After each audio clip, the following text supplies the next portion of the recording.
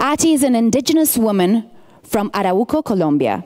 She is a political scientist and co founder of the Latin American Youth Climate Scholarship. This initiative assists 12 young people who will participate at COP28.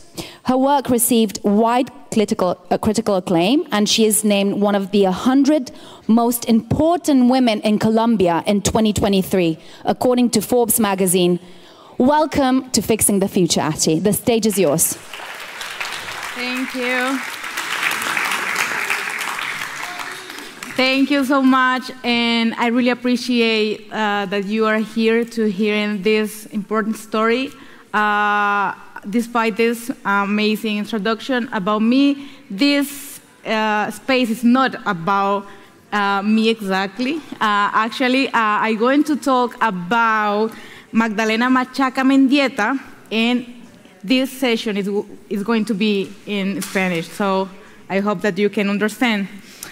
Uh, Magdalena Machaca Mendieta is an indigenous leader from Ayacucho in Peru with whom we have spent a couple of hours together. She is part of the Quispillaccta indigenous people in this region of Peru. She is a Quechua woman, an agronomist engineer, and an expert in biodiversity. She's the co-founder of an organization called Bartolomé Aripaylla, and she is here to speak about water nourishing, so to speak. I would like to ask you if you've heard about water seeding. Are you familiar with this concept? It's a little bit strange, but it seems it's not the case. Well, let's welcome Magdalena, who will tell us more about this concept.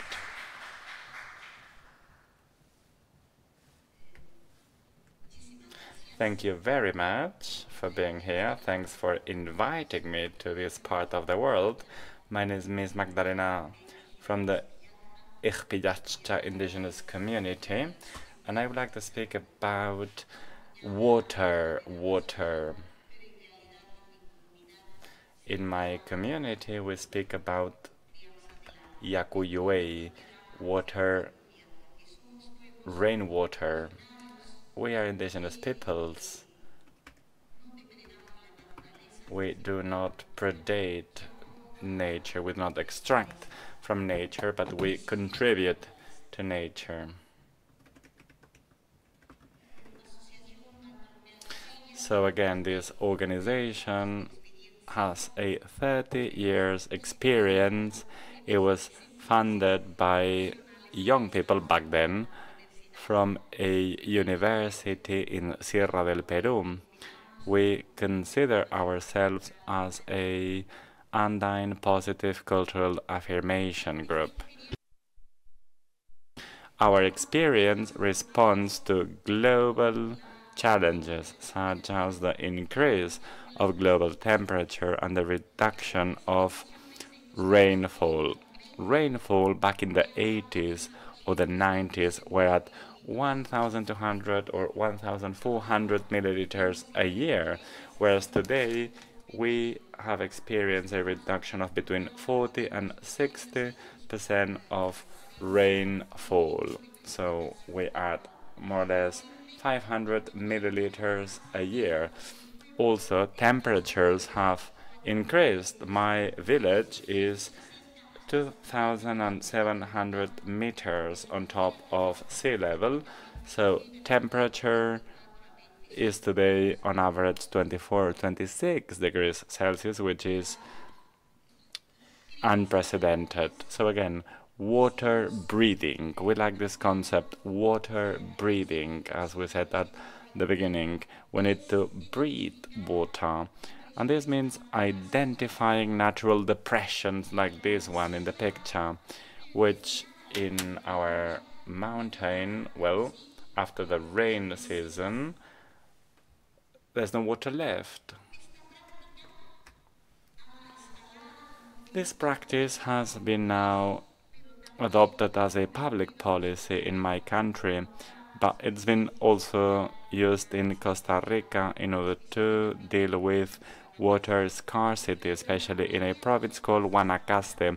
During the pandemic, we supported our brothers from this part of the world, from Costa Rica, by supporting them to breathe water. And now they are using it as a public policy in Costa Rica and Guatemala. So again, water breathing.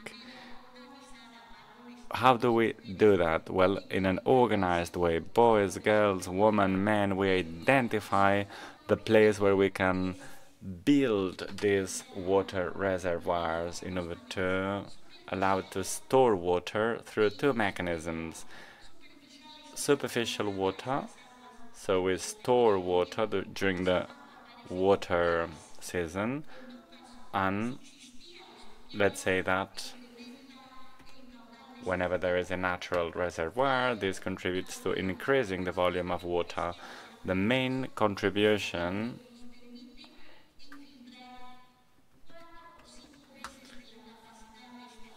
is that we contribute to increasing the capacity of aquifers by six or six, five or six times. We have natural pathways like this one with an entry point. Now we cover the entry point with the stone, ashes, natural resources from the area. We have digged reservoirs of up to 7 meters depth and of course we need to open a debate with nature. The contribution of this practice is that it has nothing to do with a technical approach, right? We want to open a debate, a discussion with nature. We want to develop an empathic relationship between mankind, humankind, and nature in our uh, part of the world. Now, this water, this rainwater,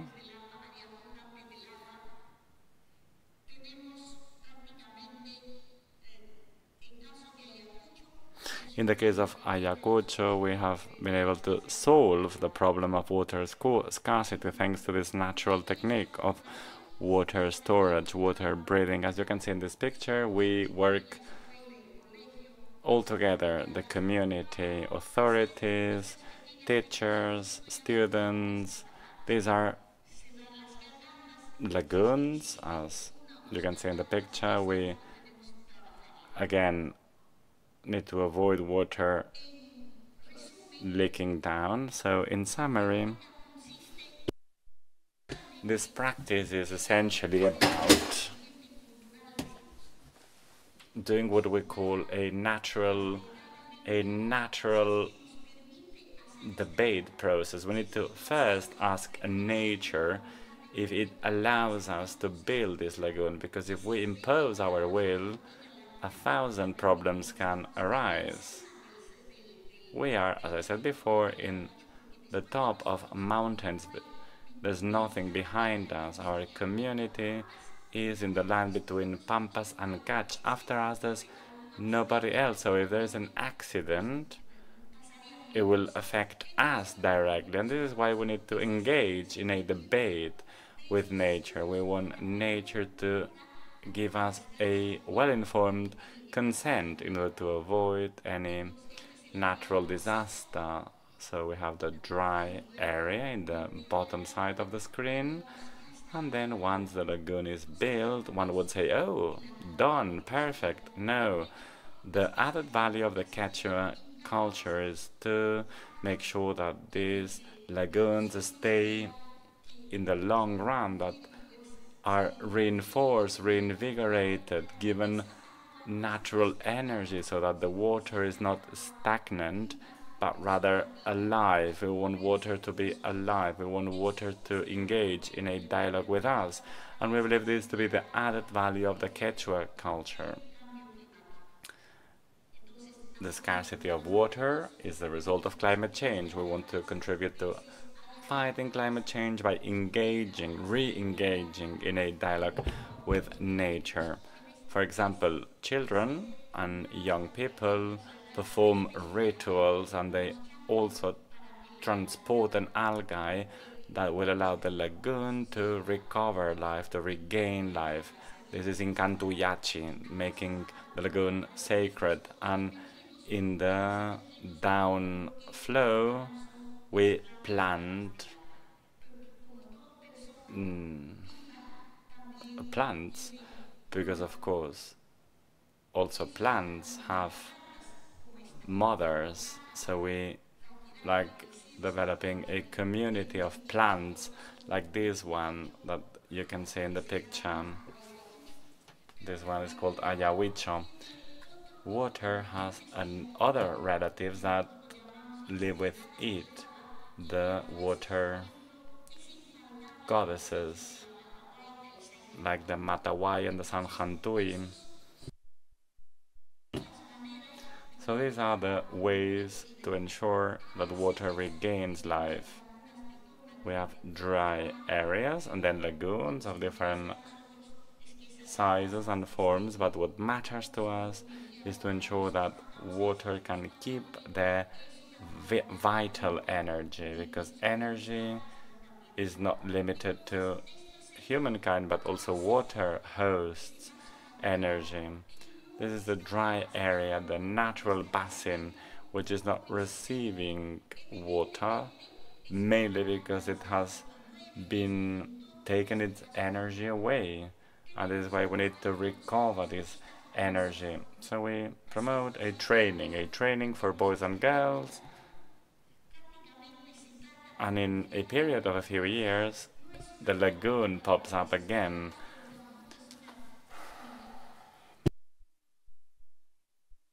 Again, it's all about having a genuine debate with Pachamama, with Mother Nature, but even more importantly, with water and its spirit. Then there's this infinity of lagoons that contribute to the local community that builds that, but also to other communities. Other communities can benefit Ayacucho with more than 250,000 citizens can benefit from the water that flows down from our lagoons thanks to the interconnections, to the underground interconnections, more than 1,000 liters flow down, which is remarkable. And this is the great contribution of this tiny intervention, which is about covering again this hole and engaging with water as if it were alive, because from our approach, it is alive. For us, for the Quechua peoples, there are sacred moments at the beginning of the summer, at the end of the of September, but also in September and August. We are not interested in the size of lagoons. There are large lagoons, very tiny ones. This is not important. None of them is to be undermined. None of them are fed by existing natural sources. All this water is rain water. Many people say, oh, it's stagnated. No, water calls water. When you have surface water, over the time it gets in touch with underground waters. We're lucky enough to be on top of a large aquifer that benefits our department, our region, the Abancay region. So when this superficial or groundwater gets in touch with underground water, there's an interconnection and this water is not lost anymore. This year in Peru, many lagoons, many natural lagoons dried out. The Titicaca lake has dried did these lagoons dry? No, they didn't, because they have this engagement, this interaction, this spirit with underground deep waters.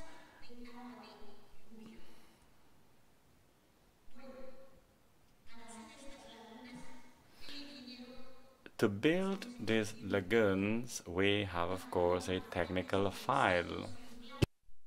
We designed the lagoons beforehand, but also we engage with wise man and woman. We look for natural consent. This is what we focus on. we are experiencing a difficult period in the world, right? We are undergoing an unforeseen crisis that was never experienced by our ancestors. How are we going to overcome this crisis? We're speaking about the future here. Again, this is the future going back to the community, going back to a relationship with nature, and even more important, going back to what is sacred, because the basis of modernity is precisely on these three pillars, right? Denaturalization, decommunalization, and desacralization. Not to speak about the importance of allowing children to participate, to bring them to participate. Professionals of all fields, doctors, psychologists, we are all called to regenerating the world, to contributing to regenerating the world life, the planet, the planet that puts human existence at stake.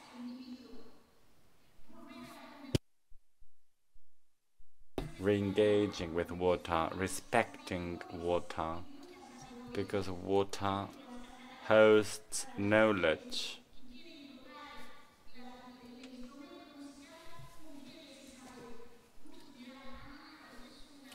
And you might think that I'm speaking nonsense. Even when it comes to this intercultural dialogue, dialogue waterfalls will help you learning reading and this is not in educational curricula, even less so in universities, because it's all about rationality in the modern world. So nature has to be seen. Nature is seen only as a source of resources. Water. We want water because we have very. our approach is very utilitarian. What about the passion that water hosts? Water has wishes and we have undermined water's wishes. It's about giving water back its humanity. It's about giving the mother seed its humanity back. Today,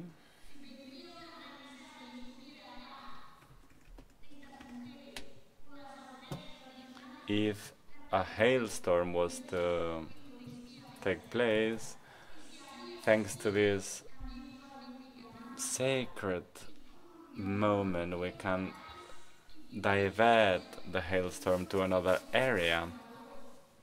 All this is not put into value. The drought we experienced last year was solved thanks to our re-engagement with the youth.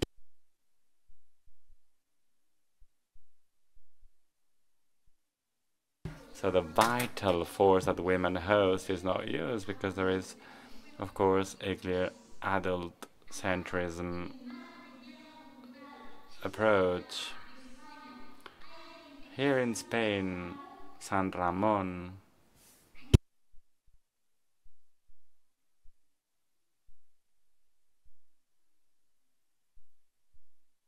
we need to engage in a dialogue with saints, we need to coexist with saints, to thank the fruit of Pachamama and pay tribute to it in churches. In the Quechua culture, in the Andine Amazonian culture, we incorporate all elements with no discrimination. We give life to all elements. This is what the whole thing is about. Today, more than ever, we need to get closer and closer to the in, to all indigenous peoples, to those peoples who happily keep alive the relationship with nature, this very rich culture, the local water management culture such as not allowing children to pee on in lagoons and they ask why is it because you're dirtying it no because water is i mean it's the world is not only about humans there are also souls when you pee on water it means that souls will not be able to transit this water. We need to engage in a dialogue with water. We need to thank water. We need to dance and sing to water. And of course, there are very diverse forms of water the Baco, the shy water. There is a wide diversity of water. Water is not, it's not only H2O, water has taste, flavor. In, in August, the first we try water and it's tasty, it means it's going to be a great year. You know, this is our culture. Hay sequía, When there is a drought, esos rituales para que el agua también a girl will have to be married and the water will then know that it has to nourish us as, as we nourish it. When there is a rainfall it means that water is ill and we need to heal it water hosts an infinity of knowledge i am here not to bring this experience but also to soften hearts towards our Pachamama. This is what happens when we do not believe this is in the south of Peru. No water, animals are dying. And what's problem here? Mining companies extracting resources. Thanks a million.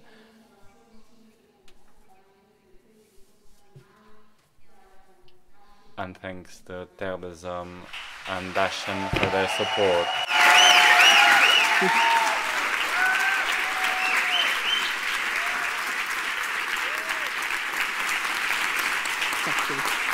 Gracias.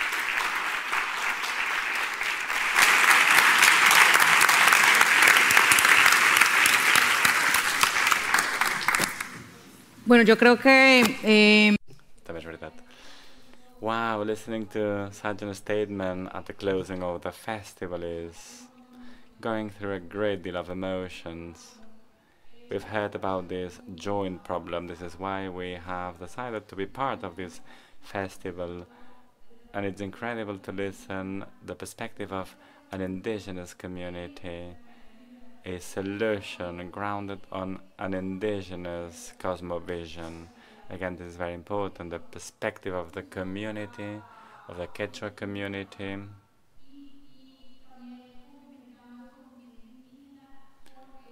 And combining science with indigenous knowledge, this project has been very interesting in combining both approaches. So I would like to go back to congratulating the members of this project. This is part of the hope, right? That things will be possible in the mid and the long run. I invite you to give these people a round of applause.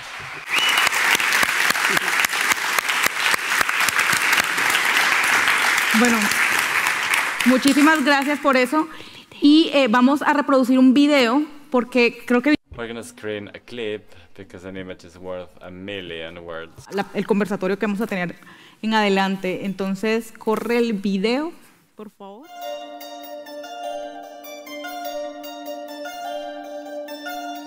En Ayacucho, desde hace más de 30 años, en la comunidad de Xpiachta, venimos construyendo lagunas de agua de lluvia en vasos naturales. Para nosotras, el agua es una persona, es madre que nos cría y nosotros como buenos hijos, hijas y So, as siblings, we live to breathe water.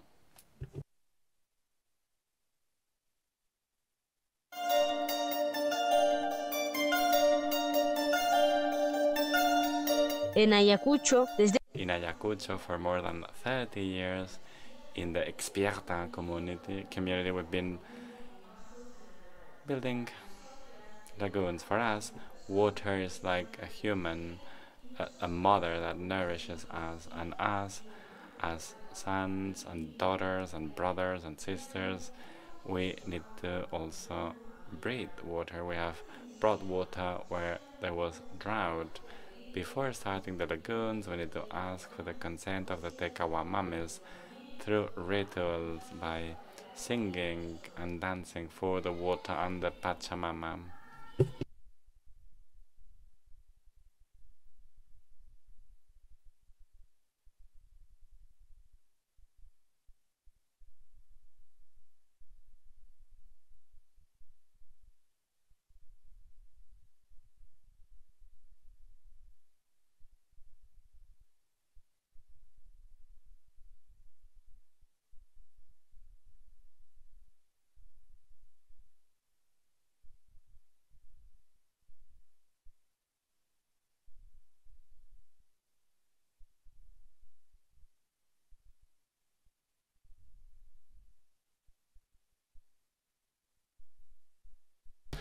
In order to stabilize the lagoons, we plant mother plants, water mother plants, different ones, to avoid the lagoons to dry out. And thanks to this, we have Chipata a land that inspires life, produces water, clean water, where the ground is always humid and we can have better income the water stemming down have produced magic places like this one.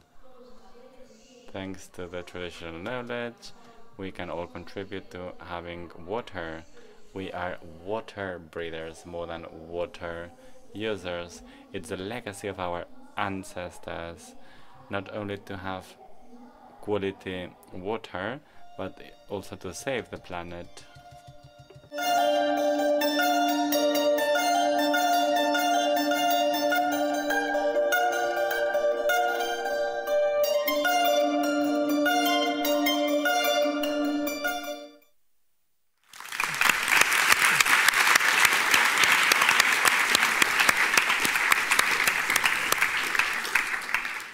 Bueno, eh, eso es parte también como para...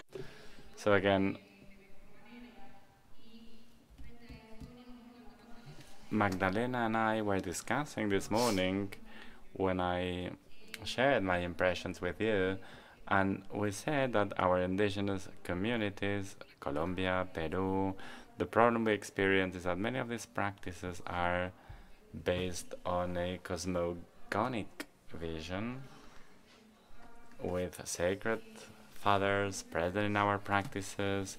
And I would like to ask you, how was it for you this challenge to combine traditional practices in the process of recovery and breathing of water. When at the beginning of the 90s, my sister Marcela and I went back to the community, the community raised the problem of water scarcity. They wanted to pump water from the Pampas River, which is very high up in the mountains. It was impossible. This is a rational approach, right? An immediate approach. Humankind is very much oriented towards immediate results. And again, this is the window of opportunity. There's another way to approach things from the Andin cosmovision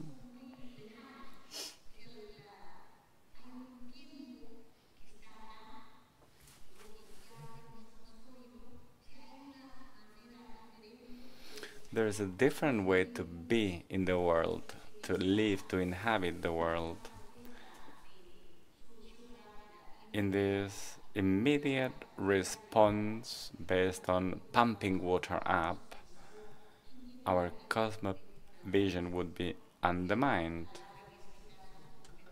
Water has to be perceived as a living creature, as a human person with its own features as a woman or as a frog or as a snake.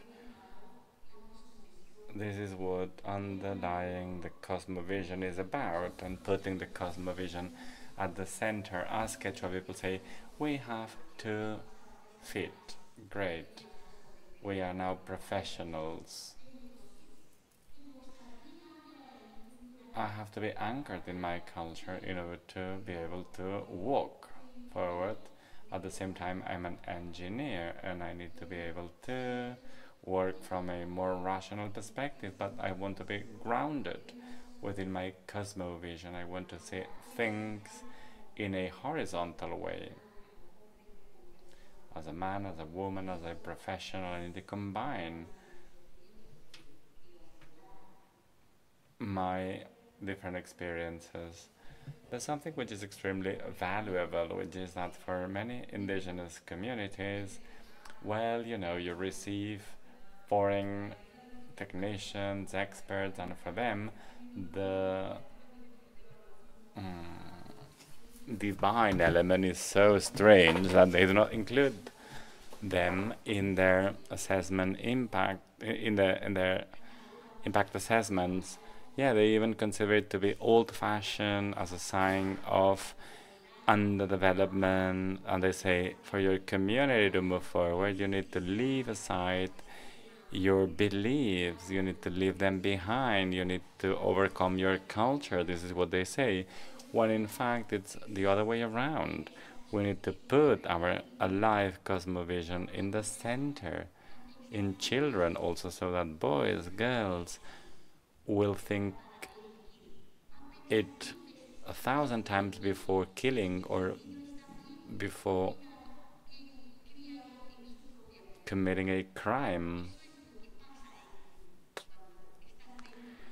And this is what happens when you are rooted in your cosmovision. I would like to share an element here with the audience to give you an example. Once I was part of a sun energy, solar energy project, the largest one in Latin America, including indigenous peoples to produce solar energies. And we were at the UN headquarters in New York. I was acting as a translator, and there was a question about the impact of the project on the community. They said, some, someone said the project has been so much assessed that we have carried out a spiritual assessment, and people laughed at it, right? The people from the UN in New York laughed, and they were like, "No, no, it's for true. The document has a hundred pages, and we have assessed what is the spiritual impact of the installation of these solar panels in a strategic region, which can have a very direct impact in the community." Of course, and not only the community, because the community, the original indigenous community, considers that the well-being of mankind is not more important than the feelings of other elements. This is the only way to ensure the good life. We have a hundred lagoons, two hundred lagoons. It doesn't matter how many we have. What matters is how feel the water how well the water feels. And what do we mean by that? We need water to be happy where it is. My water, the water that we have created is happy, is having a good life, then we can look beyond the situation here and now, right? And this is what our spirituality is focused on. So when you approach the lagoon, the lagoon will answer you. The nature will engage in a dialogue with you and then it will start bubbling it will be shiny birbiri Afghan as we say it's not stagnated it's colorful it's transparent it flows this is not considered by engineers we have to say engineers do not let channels to be emptied because they want to clean the channels every now and then. We tell them, careful, because if you take this stone out, water will not flow down happily. And they go, no, but the stone is making the water flow difficult. Don't take the ojoruro out, we keep telling engineers. Ojoruro is a plant that helps water purifying because again as nature, water also can be polluted by the feces of animals. So where there's ojoruro, it means that water needs purification. It means that water needs to be purified. And if you take the plant out, it will be impossible to allow water to regenerate. The berus also helps water regenerating. Everything is where it is for some reason.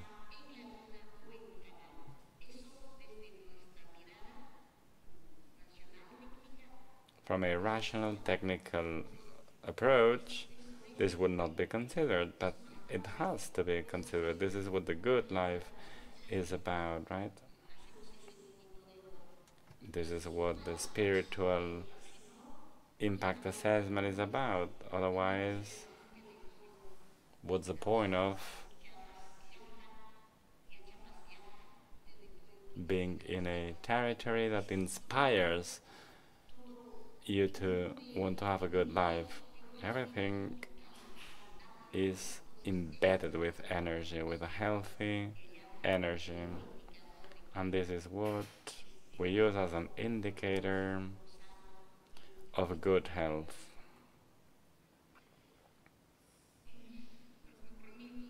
Thank you. I have like a million questions to ask you, but I would like to hand it over to the audience. Unfortunately, we have very little time. But if you have any questions, please go ahead, because of course one of the aims of the debate here is to allow you to ask as many questions as you wish. Thank you.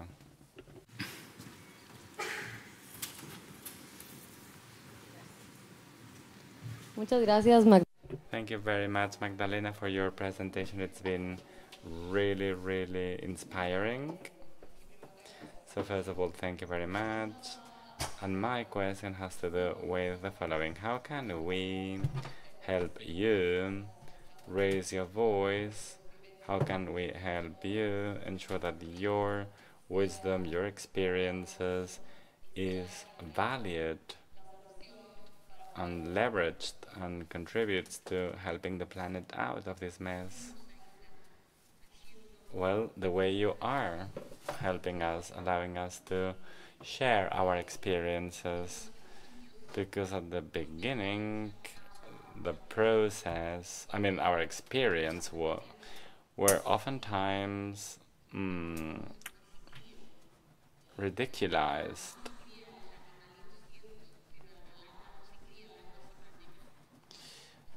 The answer i oftentimes got is no you don't breathe water you manage water so from that time to present, many people have changed their mindset.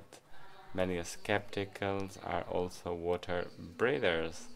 And this is the good point, right? How have we managed to get here through an invisible voice that was never taken into account? We've done so by sharing, sharing, and sharing. My organization has sent me to share with you here because out of the hundred of you here in the room, one or two will say, hey, yeah, I'm going to believe in this woman. There are other ways to live in the world.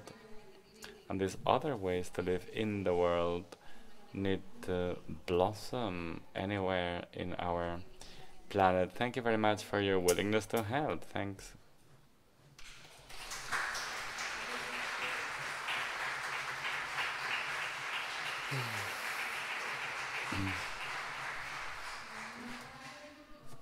So we only have three minutes left. I think there's time for one last question. Don't keep it for you. Hello and good afternoon. Thank you very much. I would like to thank you for being here. I'm from Peru. It's been now three years that I live in Barcelona. I work in the field of smart cities and technology, which is very prevalent thanks for bringing Peru all the way to Barcelona.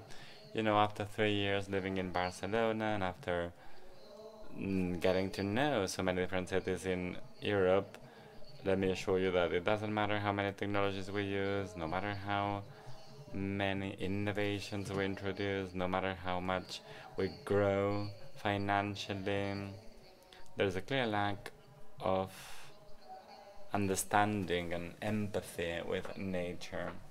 So thanks, thanks for raising the topic. This will be paramount in order to overcome the crisis we are under, going through. Bueno, muchísimas gracias. Thank you very much. Thanks for your time and thanks to Fixing the Future for organizing this forum. There's a way also to come up with solutions. Thanks for having invited us to share our views and to allow us to, you know, raise awareness about what's going on in the countries under the leadership of indigenous peoples. Very valuable experiences worth socializing and replicating. So these are my closing remarks. Would you like to close? Yeah, I would like to thank the organizers of the fixing and I would like to thank every one of you for listening to me. And once again, let me leave one take home message engage in a dialogue with nature. The nature never shut up, but we don't listen to it anymore. And the future is re engaging in a dialogue with nature. It doesn't matter if what nature does is worth for mankind or not. We sometimes believe that building a water reservoir or launching a mega project is the only thing that matters. But now we need to put indigenous communities at the heart because even some communities start thinking that their actions are pointless. No, no. We need to re engage in this dialogue with nature a lot of wisdom is being lost, a lot of knowledge is being lost. So we need to regain strength and start working like my community does in my community to bring water up to the mountains. As it was said already 30 years ago, they wanted to pump the, the river, the, the river water up, but of course it's impossible to overcome a distance of 2,000 meters. We would need resources and technology whereas building a lagoon costs less than 100,000 soles, not even 10,000 euro. Each, the tiny lagoons cost nothing, 5,000 soles, less than a thousand euro. Imagine with millions and millions that a dam would cost, we could build a thousand lagoons, easy. And sometimes, you know, corruption, the moral superiority of experts and decision makers becomes a barrier, even if in, Pel in Peru we are now part of the decision making processes. Nonetheless, many people are still skeptical. Once again, thanks, thanks a lot, and I hope Pachamama takes care of you.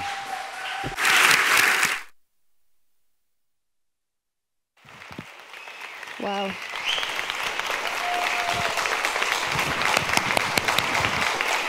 Muchísimas gracias a ti, Magdalena.